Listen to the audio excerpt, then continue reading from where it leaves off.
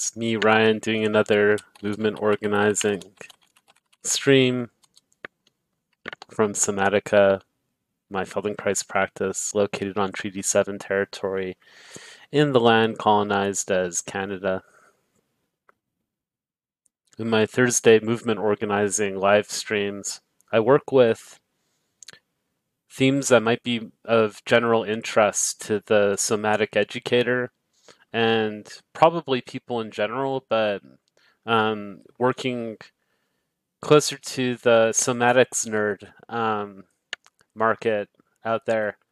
And um, so today I'm going to um, briefly catch myself up on um, my background knowledge and experience um, following this the subject of what is the individual, the actual um, ontological status of the individual, the the question of what are individuals in reality, um, because um, there's many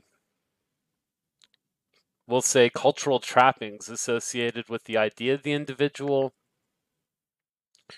in in most cultures that are um, uh,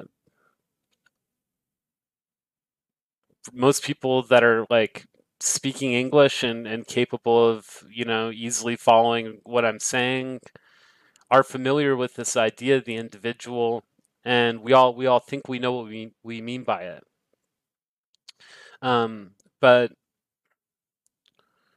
uh, and cer- certainly in the biological sciences, um, the idea of an individual in, for example, population genetics or ecology um, has has its own meaning, has a, a fairly clear meaning, and that meaning is maybe close to the economic sense of an individual because the disciplines have in common this quantification this attempt to describe the actual dynamics of the actual life histories of organisms. So there are these these entities, these quanta in those systems that are called individuals. But to say that those concepts are the actual scientific consensus on the individual would be a gross overstatement. For example, in the biological sciences, the the question of individuality shows up in very simple ways when one's looking at um, organisms that live in a in a eusocial fashion, organisms like ants and termites, bees. Well, not all of the bees, and perhaps not all the the termites and ants either. There are many of them, but these organisms are characteristically eusocial. They live in large colonies where um, there's only one um, individual in the whole colony. Um, there's only one. Um, say just said individual. There's only one insect in the whole colony that is reproductive at least over most of the life cycle of the colony and then um, reproductive males are only only produced over a limited period, and they don't actually like integrate into the colonies. They're they're produced for leaving the colony and mating with other um, fertile uh, queens uh, that have been released from other colonies and then starting new colonies with those well, no, and then dying. Those males then dying, and the the fertilized queens starting their their next colonies. Um, so genetically, these colonies are a single organism, and they're individuals that are competing with each other on the the life history scale of of the the queens.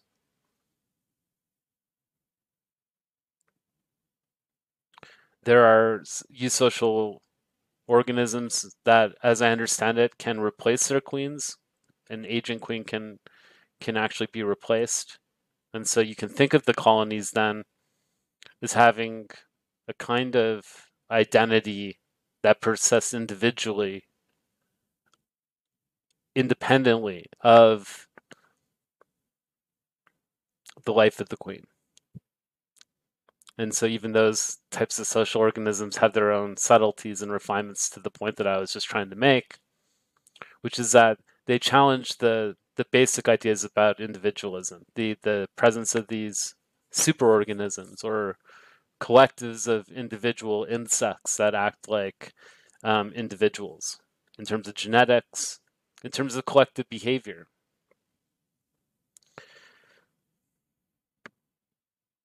There's other interesting examples. Um, I think maybe I can get a nice slime mold video to play in the background.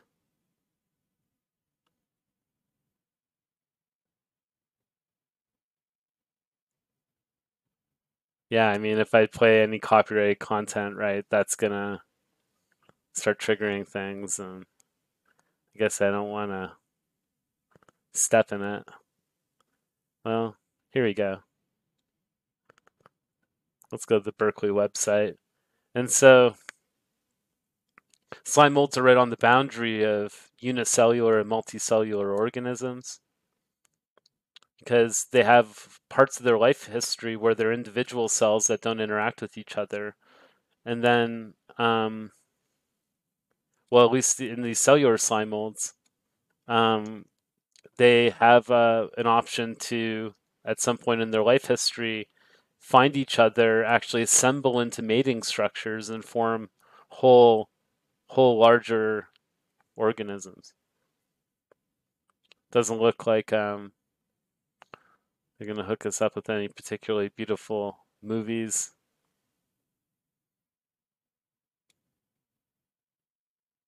Oh well. There's our introduction from the Berkeley website.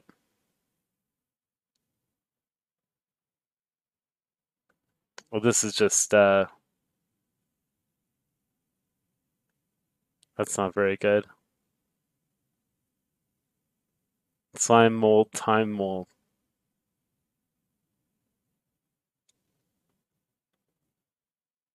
Well, I've wasted already too much time, but slime molds are nice examples of challenges to the, the kind of ideas of multicellularity. Anyway, so um,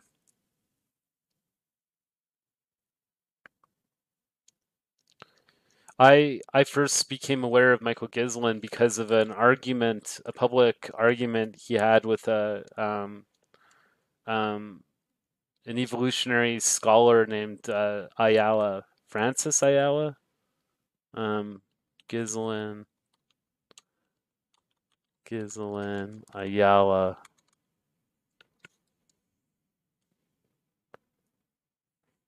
So they're they're public debates about teleology, tele- teleological explanations. Um,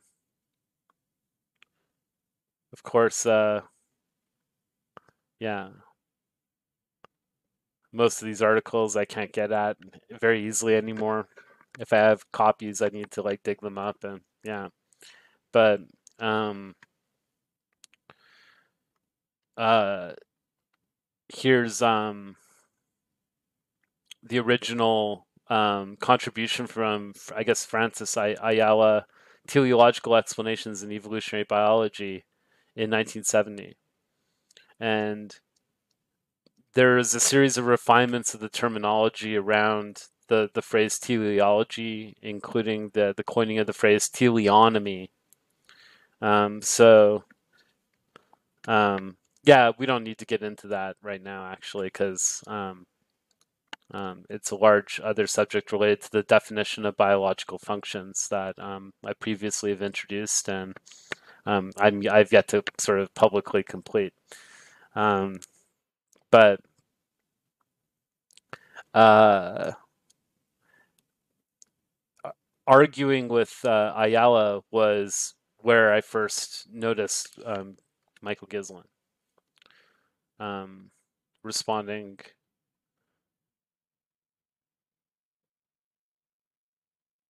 Responding to Ayala. Um,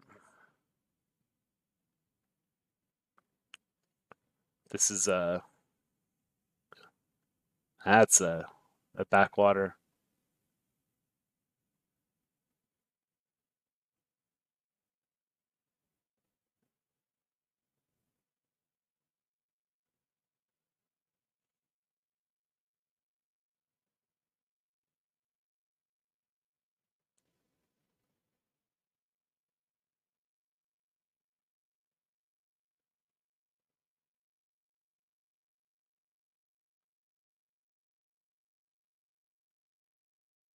This is interesting. The title says, What does Ghiselin mean by individual?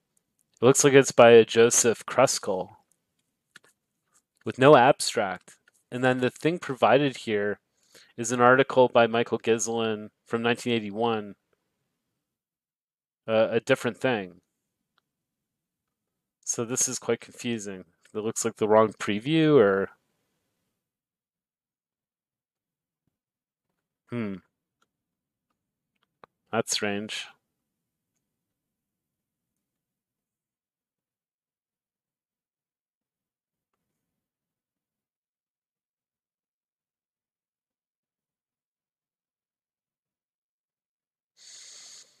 Anyway, um, I really respected uh, Michael Ghiselin's work as I started to follow the person. Um, for starts, he was one of the first uh, MacArthur scholars. Here's from the MacArthur Foundation. Um, so he's one of the first awarded um, people, class of 81. Um, and uh, so at this time, he had already made a quite a quite a contribution um,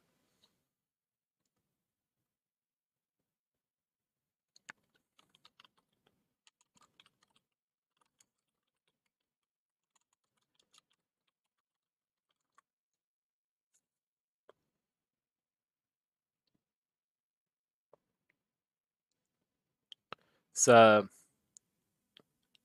a very good book, a very well done book called The Triumph of the Darwinian Method um, that uh, Ghiselin contributed in uh, 1970. And um, yeah, got him a MacArthur Genius Award. Besides his other contributions. Um,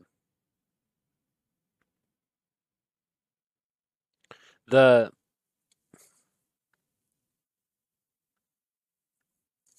one of the great contributions of this book and and Ghiselin's Dar- Darwin scholarship is the focus on the actual process that Darwin used and the, the linkages between Darwin's observations as a naturalist and the um, proposal and refinement of his theories, his ex- explanatory models for how his observations can be reconciled together.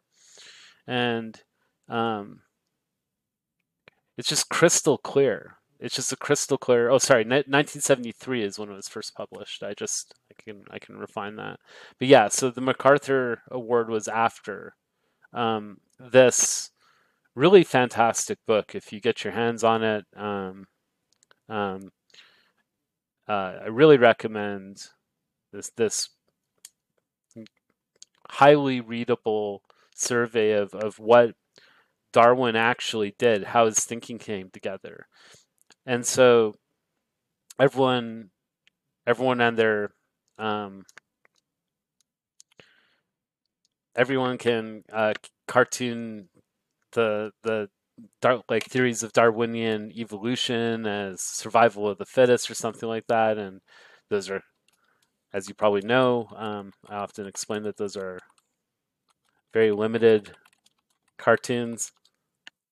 Cartoons of very limited uh, quality. Um, even in just describing the evolutionary theory, they're quite insu- quite insufficient in describing what, what Darwin actually proposed. Um, but but this book shows how explaining atolls, the formation of atolls, the observation of coral reefs, and how they they geologically over geological time they plausibly contributed to these patterns. Um, and Darwin synthesizes this, writes it up, communicates it, refines it over time, and it's just one example of this thing that Ghiselin's calling the Darwinian method.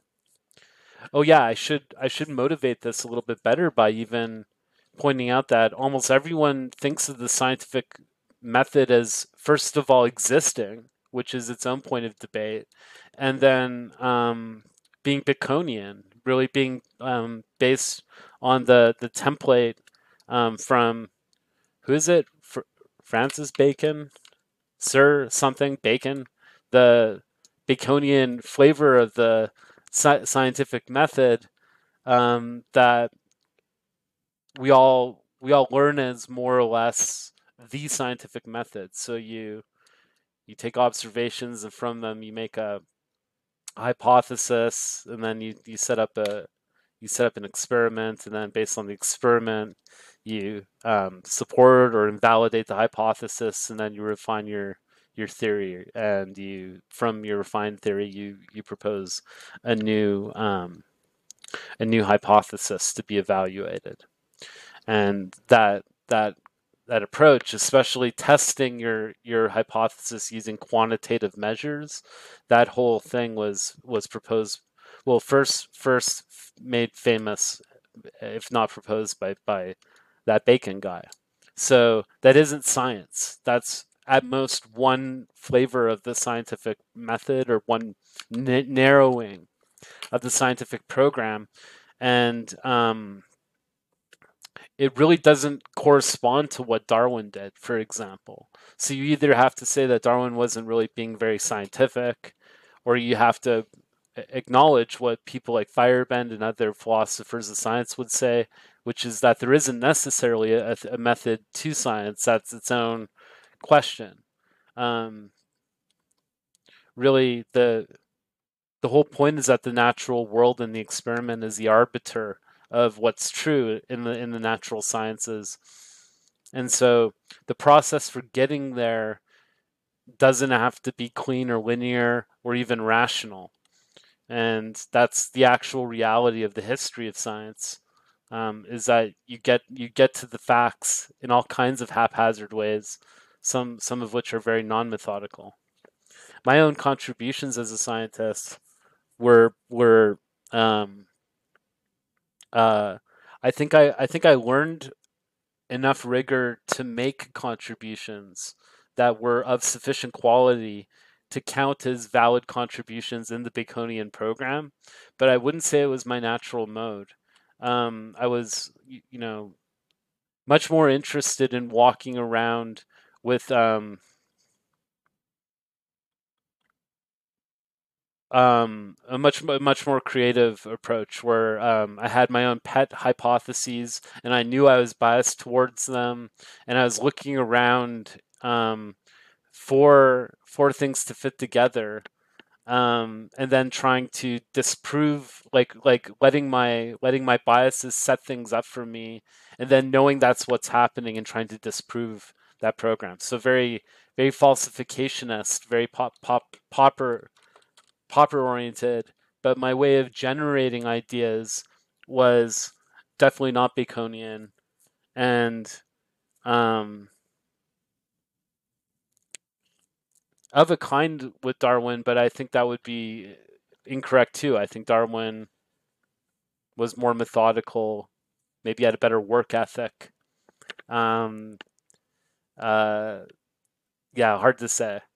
Um, but anyway, enough talking about me and the science career, which is now in the well, hasn't been funded for a while. Let's say it is now uh, very much on the back burner. Um, so, so Michael Ghiselin and Michael Ghiselin takes a, an idea from the philosopher David Hull, um, it, which is a in relation to the the species problem. And again, I, I come to this thinking from studying a, a relative offshoot, like like side sideshow distraction on the Ghiselin um, canon, which is his his arguments with uh, Ayala over over teleology um, in biology. Um, but his he's much more rightly um, appreciated for the the individual individual individuality thesis. So the topic is the species problem.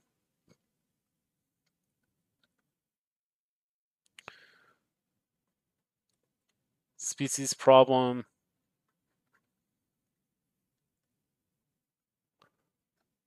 what is the species?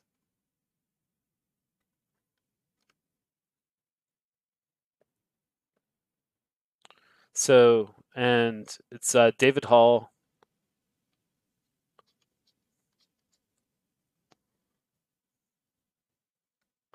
So Mike Ghiselin.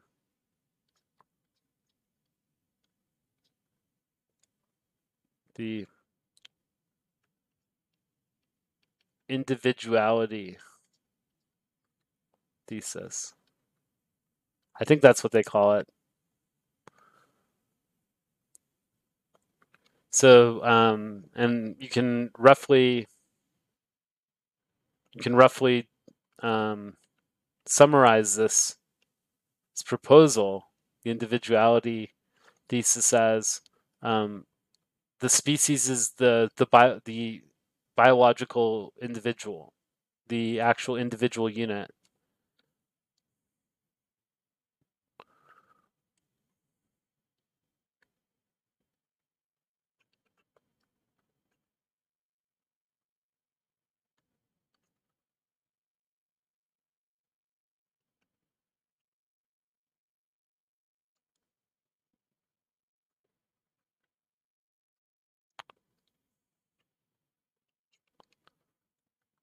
And here, biological is my own shorthand. So, so um, maybe I should put scare quotes around it. And by it, I mean, um, or they mean, um, taxonomic unit, um, but also um,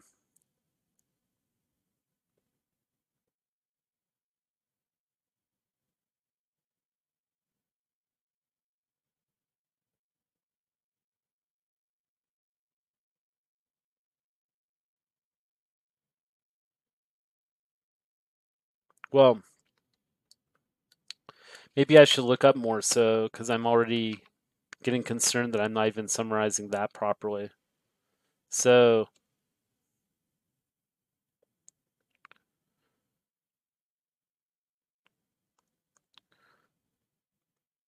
there's some some contributions are, are in the whole whole part relationship. Um,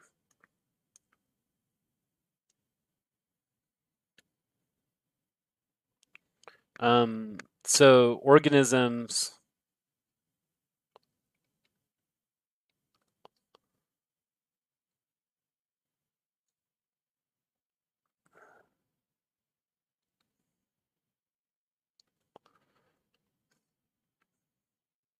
organisms of the same species?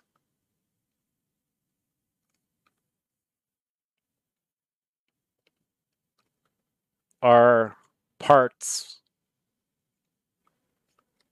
of the same whole. Well, that got crammed in there. But yeah, that's my that's what I can kind of remember and after like looking at a couple web pages and getting kind of primed again on it. But so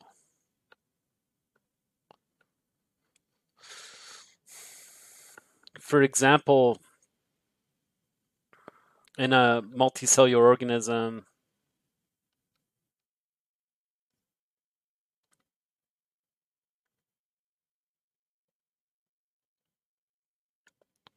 the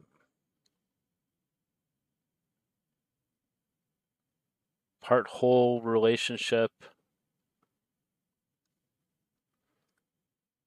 cell the cell to the the organism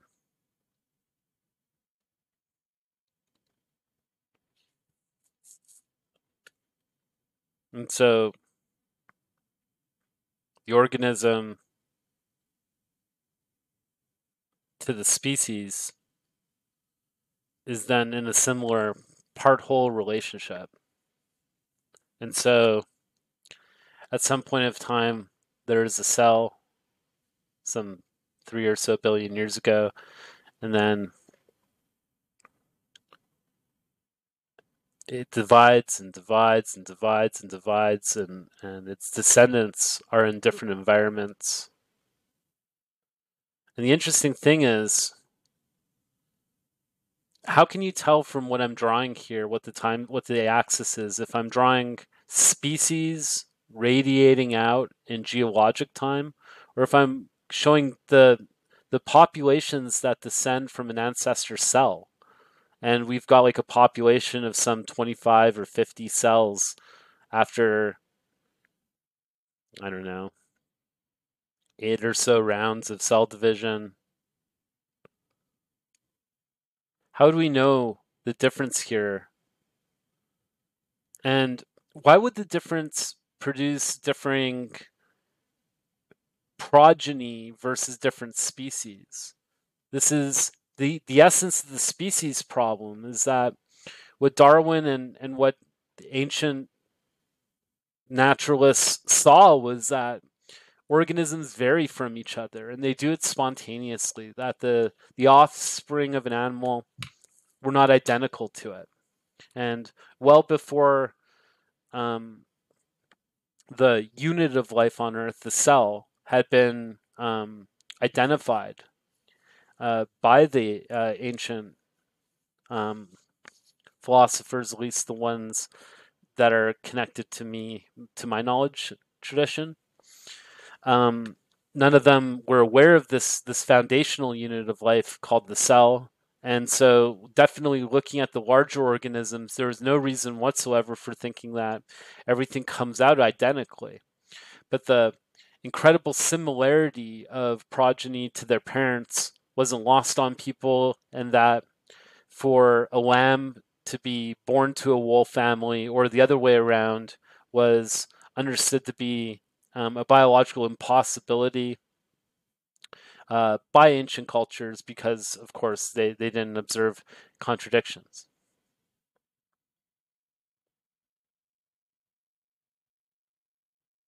And I shouldn't speak for all the knowledge traditions because the appearance of contradiction surely presented itself, and I don't want to dismiss whatever insights resulted from looking at that phenomena. However, you can follow this this train of thought hopefully that each each event here is either a cell division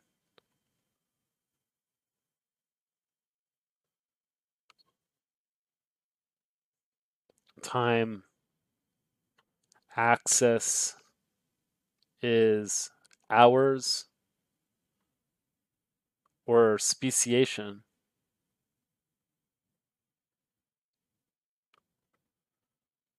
time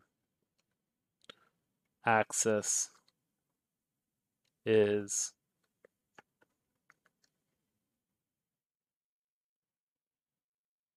well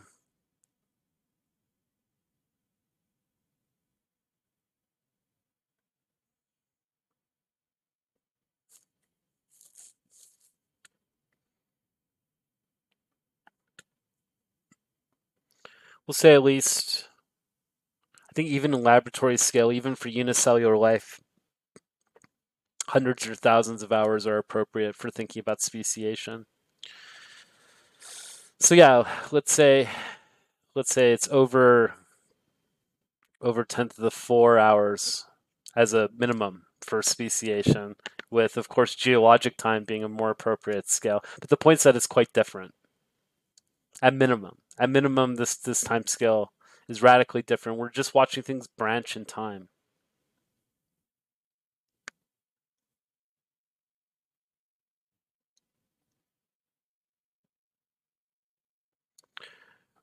The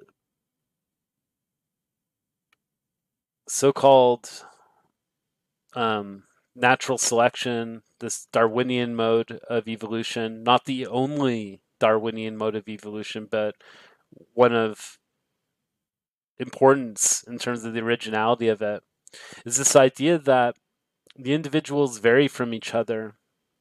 Let's say that the um, horizontal, sorry, the vertical axis here represents some different characteristic between these things. Um, it would make sense that um, if there was no difference in the environment between all these individuals, that you find the different characteristics um, in different locations just scared, scattered randomly. So that if you ordered them vertically by characteristic here, um, it wouldn't give you any information about where they're located. There would be no relationship between the things. But let's say way way back in in geologic time or microgeologic time, um, we've got um, a different environment is introduced. See, at this point, see, at this point, yeah. At this point, the cells migrate into a different environment.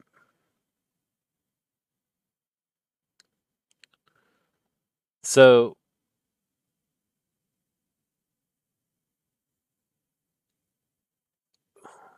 is a different different environment. And it's a different, say, micro environment.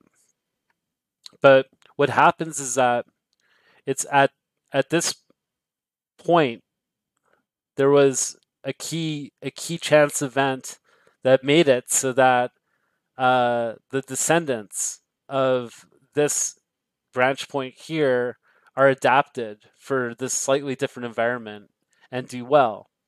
And the descendants of this other branch point continue to do just fine outside of that environment. But if those descendants migrate into the environment, then those lineages um, get extinguished. They they don't compete as well.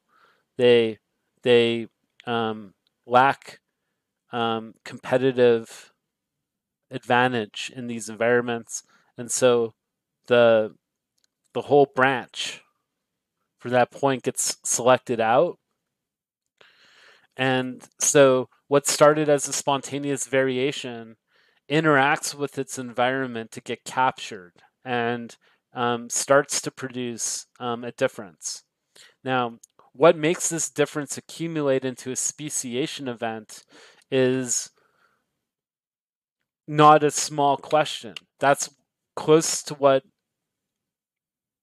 Darwin was interested in calling the species problem. What do we actually mean by species, and how does it relate to this this process that we've described here, or or analogous processes?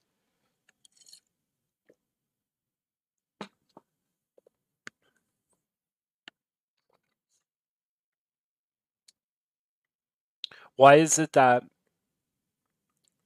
um, a Great Dane and a Center Poodle and a dachshund are all considered domestic dogs, but a wolf is considered a different species. Not Canis domesticus, but Canis lupus. Canis? Stupid Latin.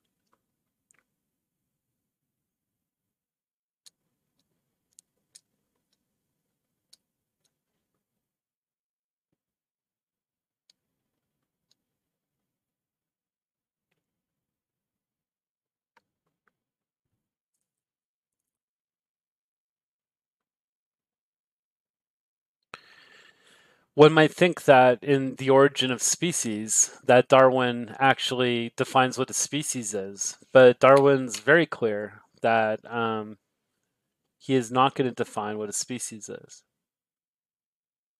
Um, i'm not going to find the quote for you. But um, if you're interested you can um, let me know. One of these many places this is streaming to I'll eventually notice where you mentioned it and we can talk. Um, but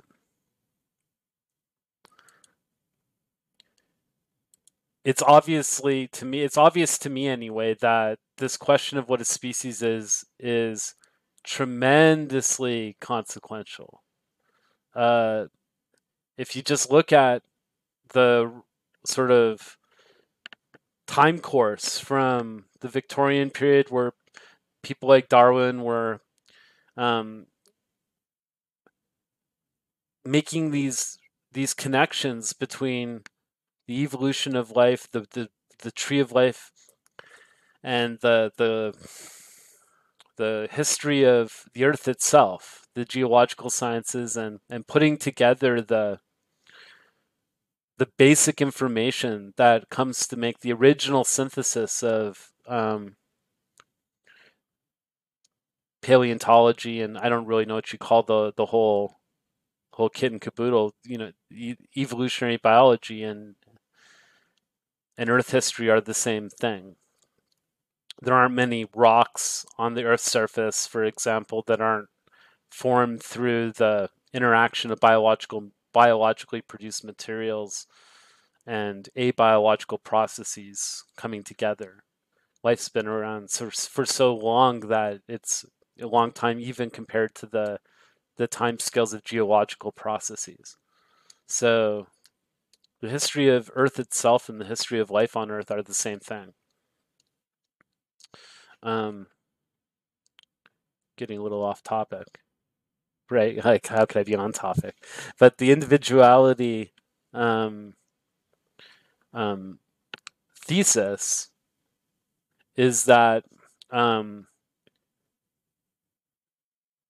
without without establishing all the criteria of what makes two species different from each other, two two organisms, what makes them into different species is um, um, a different measure, a, di- a different. It's like it's a related question, but the actual thing, the Homo, the Homo sapien thing, is understood as um, being the whole branch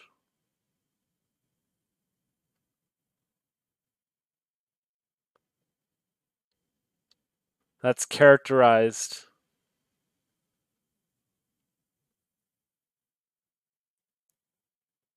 By this by this event by this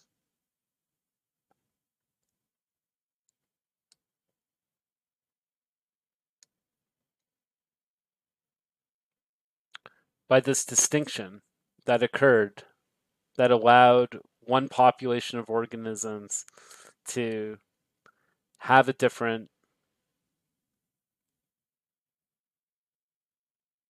identity. And what makes this group have a different identity, calling it reproductive isolation, which is like the popular definition of what makes something a species, it it's just uh it's convenient and it's a powerful explanation that's proposed by biologists and it works for a lot of areas, but it, it doesn't work for a lot of things. There's a lot of examples of neighboring species being able to hybridize, produce not just hybrid offspring, but viable hybrid offspring. And so the species being in more of a continuum, it's appropriate for a lot of a lot of organisms a lot of organisms look like they're different species because they live in the same place and they have different behavior and and um, and appearance, but under laboratory conditions, you can show that mating between one one group and another group, it's possible, and viable offspring occurs. So it's only behavior or ge- geographic separation that's leading to this this biological isolation of these two different species. And so if you think about it then can we really picture spontaneous matings between like a Chihuahua and a Great Dane? Like, is that actually physically possible? And if those two breeds of dogs can't actually complete the the the breeding spontaneously without some artificial assistance, then is it still right to call them members of the same species? That that problem goes away if one stops looking at essentializing reproduction as the key behavior that makes things a species, but rather this this question of shared identity.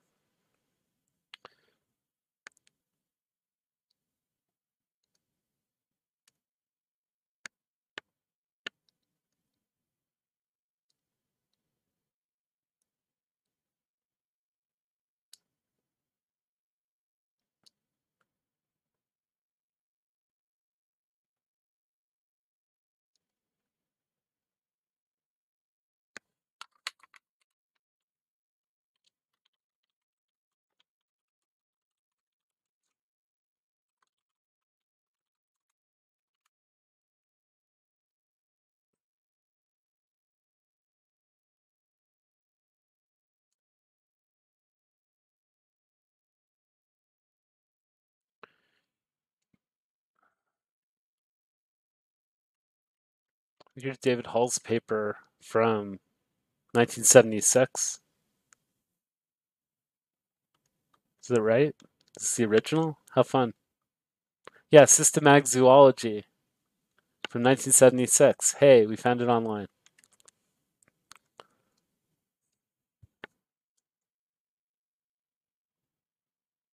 Oh, I guess it's Hull and Ghiselin. I thought Hull sent the idea over to Ghiselin, but it looks like they did it together more because Hull starts off by acknowledging Ghiselin.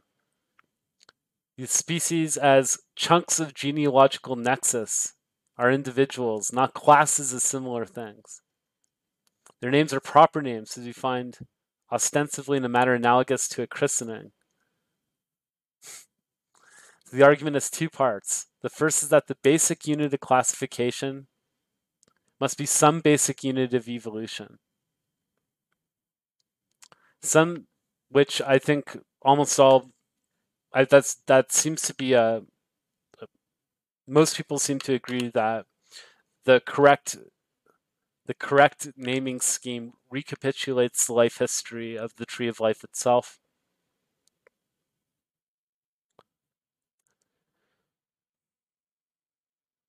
Some biologists disagree that it's so hard to reconcile the relationship between data and um, and theory and inference. So um, you could be more neutral for classification.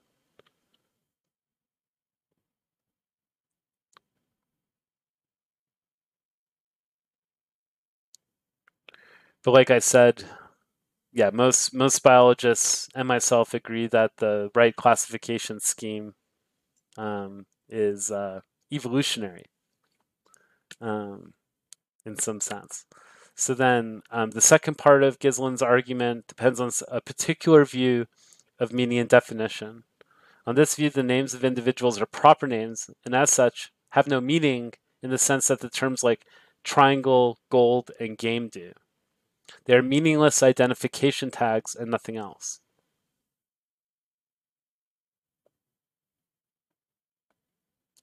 They have no verbal definitions, no intentions. The twist which Ghiselin adds to the usual story is that the names of particular species are proper names because species are individuals. And so they're not categories.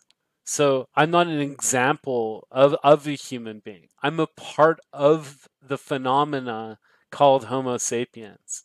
Can you see the distinction? Can you feel the distinction? Maybe let it soak in for a moment.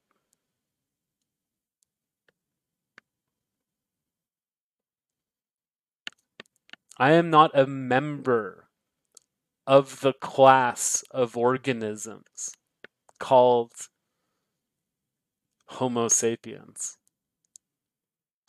I am not a person because I'm an example of a kind of person. I am a part of the whole, and that whole thing is called humanity. Or, biologically speaking, Homo sapiens.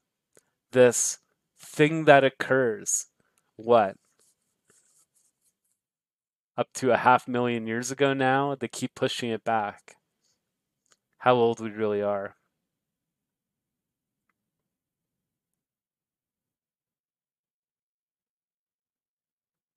Definitely upper dates are now around 300,000 years, I think.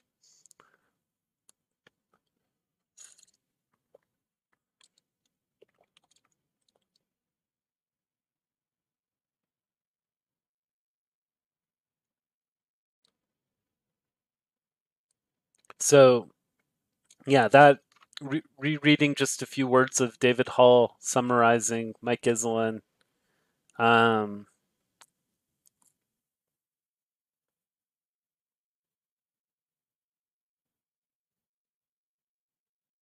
this category idea versus this holistic idea.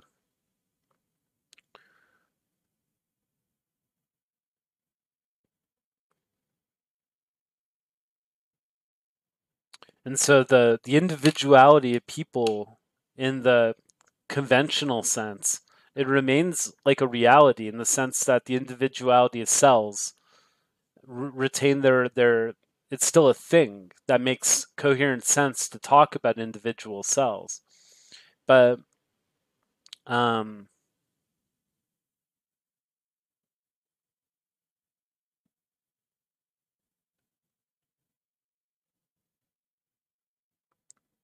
but coming up with a a meaningful way to make all of the body of humanity um, all the body of of of life um, meaningfully organized into these these units that have names it's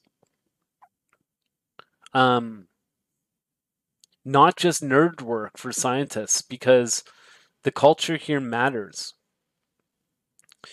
When people absorb the idea that they're elements in a category, then the sameness that unites us all has a kind of dull, unmagical feel to it. There's something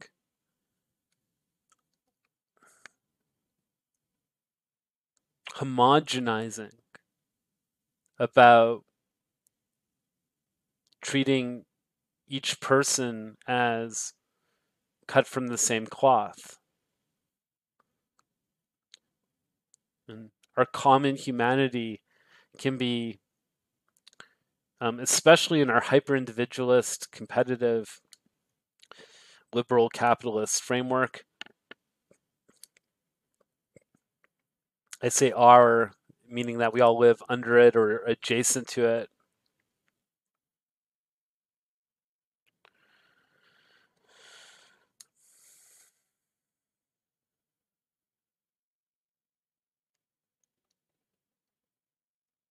The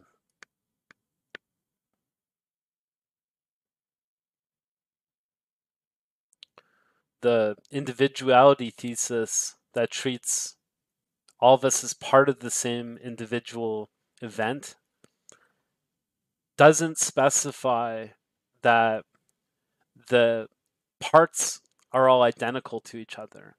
In the same way that saying that I'm made of trillions and trillions of cells by no means flattens me out into a slime mold that has barely differentiated cells from each other, some of them specializing in holding together the others, and some of them specializing in making reproductive structures, spores, and the like. It would be ridiculous to say that thinking of myself as a grouping of cells reduces my my physiological and anatomical complexity and flattens it into nothing. Can you see how impoverished that view would be if one thought that to accept my cellularity is to reduce myself to a lump of meaningless cells that are stuck together? That that's that's not a clever criticism. That's an impoverished view of the situation.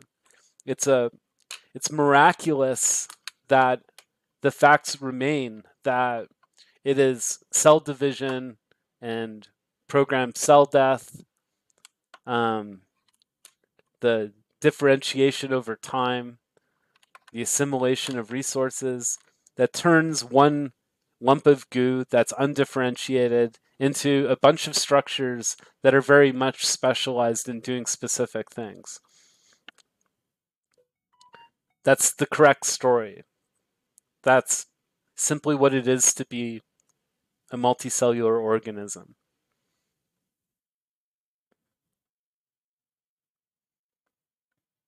And so the undifferentiated goo is itself a fiction. To be multicellular is to be differentiated, to have cells that know to specialize and to do different things in different places at different times. And it's true for the smallest multicellular things to the largest ones.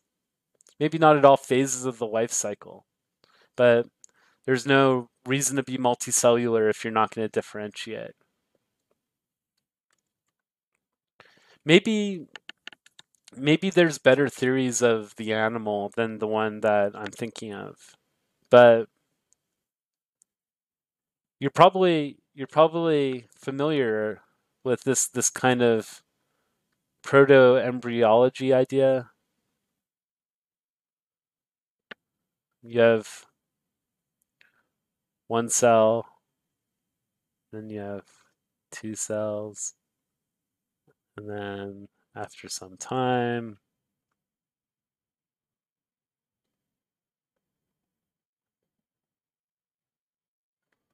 some time, you have a clump of cells.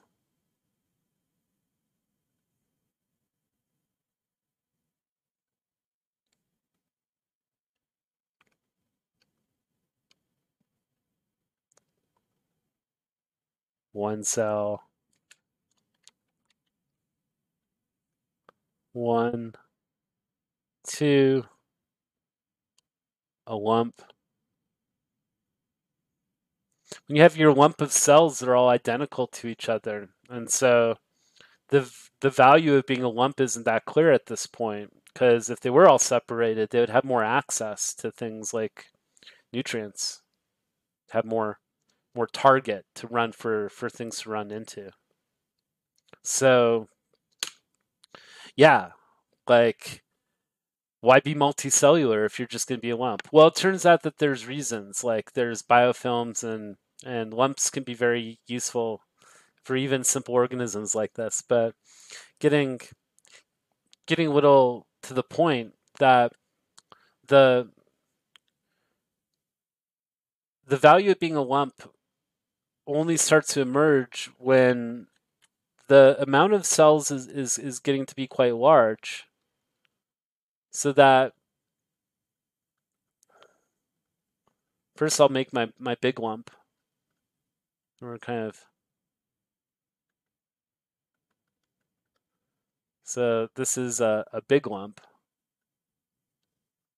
Big lump. And now now there's um now space matters now. Now there's a radial direction that makes sense because the cells on the inside have a different local environment than the cells on the outside. So there's this radial direction, radiality, radial, radial direction It gets defined when you have a big lump of cells because there's an inside in there's an inside and an outside. I'm going to write it out over here. Inside and outside space.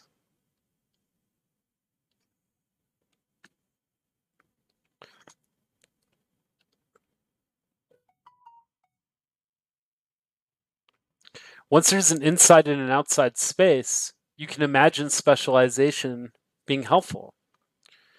Well, just think like there's a lot of chemical reactions that that go very well in the presence of oxygen, especially those ones that use oxygen as a reactant. And then there's a lot of chemical reactions which are poisoned by the presence of oxygen. Oxygen actively inhibits those reactions. Um, and so just by having an inside and an outside, you could have the things on the inside specializing in the in the processes that don't work well in oxygen and the things on the outside specializing in processes that do work well with oxygen. For example um, and so no reason why your big lump needs to be made of cells of one species except that it's easy to get them all there at the same time if they're formed from dividing. But you can imagine the things specializing on the inside coming from a different genetic lineage. And this idea that the reproductive history needs to be kind of well contained to define a species is itself not a, a, useful assumption in biology. See the lichens, right? The whole there's a whole group of things. You know, what species what species is this lichen? Is one of those weird questions from the taxonomic perspective because every every lichen is uh, some kind of bacterial thing plus a fungal thing. Lichen, so it's like species one and species two gives you species three or one plus two, or what is what's the situation here? David Hull, Michael Ghiselin, they don't have a ready-made answer for this. Maybe it's a problem of sort of the habits of human thinking and not necessarily a problem for biology at all. But certainly there are different kinds of lichens and they're systematically formed by particular species and particular sorry particular bacteria and particular fungi coming together and forming this partnership. So multicellularity um, involves these whole part relationships and produces these entities that have identities that um, mean something but what they mean in terms of um, biological, like uh, reproductive continuity, that's not necessarily um, a clear, a clear way to follow things through. It's just a convenient one for for a lot of our, the situations that people like to think about. People like to think about the problems they can make progress on, not necessarily the things that are the important things. So this clump of cells that we just um, this big clump of cells that has an inside and an outside it can you can imagine it eventually um, forming larger structures where there's an actual wall of cells for example. Well it's a sphere of cells. Sphere o cells. It's a sphere of cells. Um, and so now there's an in, there's an inside and an outside. And the cells here can be in, for example, layers. So you could have cells that know that they're facing the outside, cells that are on the inside, in the middle, and cells that are facing the inside. And all these things could be specializing, doing different processes. The things that face the inside could be accumulating things in that environment that change it and stabilize it in a way that the outside space can't be stabilized. So you're beginning to create um, um, a kind of body space. And the actual sort of developmental biology of a, a human embryo, or really an animal embryo, um, this actual inside space that's developed very early from this clump of cells is not the body space of the organism proper, but is the amnion. Okay, well, in the amniotic uh, animals anyway, or yeah, right, yeah, in the in the uh, placental, in the placental ones. Um, well, actually, I don't know my my embryology well enough to talk about which animals this applies to very well, um, but um, this actual bubble here is going to be more the um, the uh,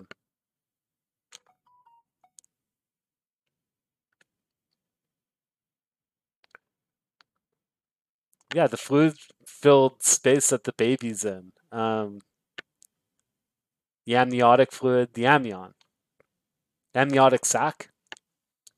The amniotic sac is this actual thing, and these this streak of cells that are pointed on the inside or the middle or on the outside form the um, ectoderm, endoderm, mesoderm tissues.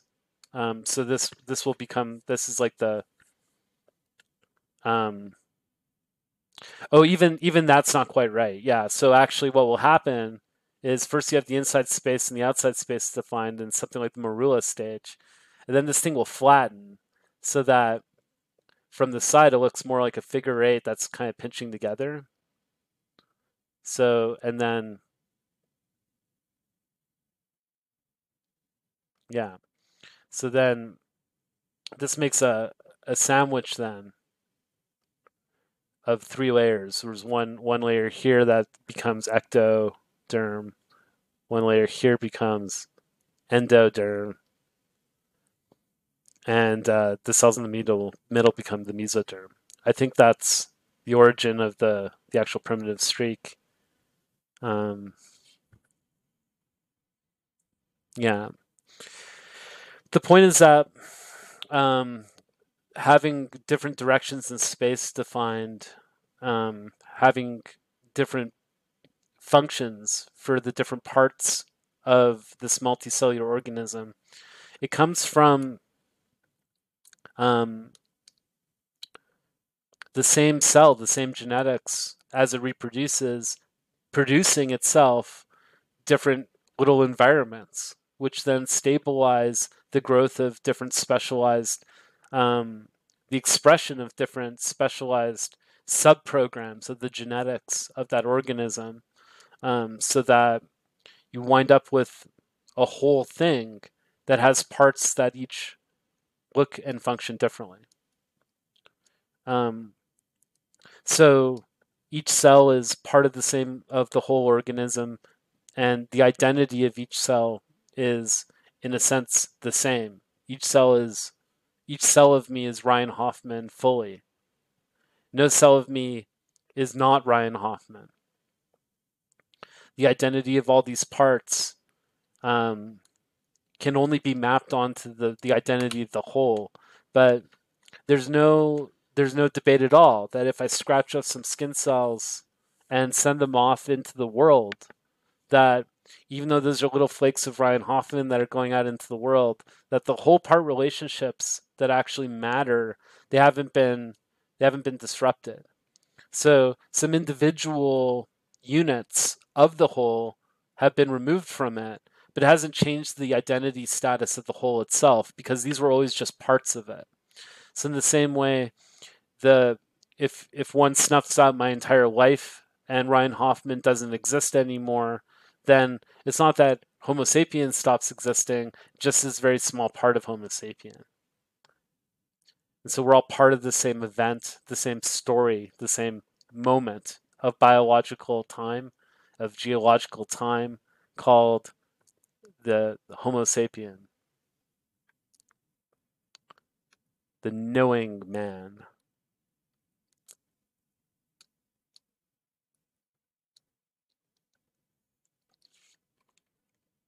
Um, so, yeah, that's a little bit about this individuality thesis, Ghiselin and Hull.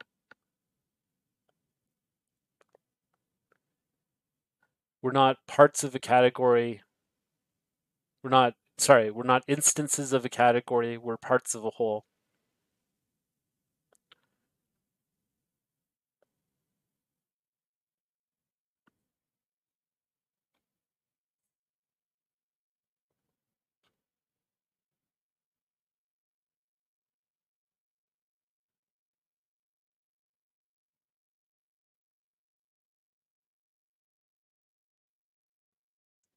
It's great this isn't a hard article to find.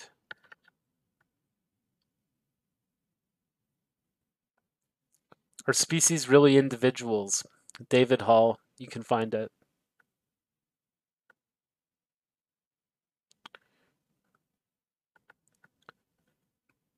Looks like some uh,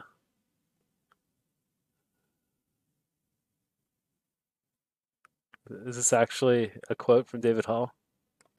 No.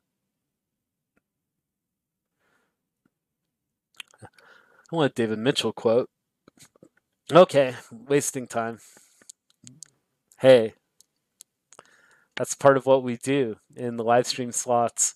A couple hours of indulging myself in a, in a, hopefully in a in a way which um, people can follow along a little bit with and maybe enjoy themselves. Um, if you have thoughts about um, anything I talked about today, feel free to get in touch with me. Um, I teach tonight at 6 p.m. Mountain Time. Um, not sure if I'm continuing that time slot um, into next month, uh, solving that problem well today. So, uh, yeah, let me know. Um, what you're interested in, and take care out there.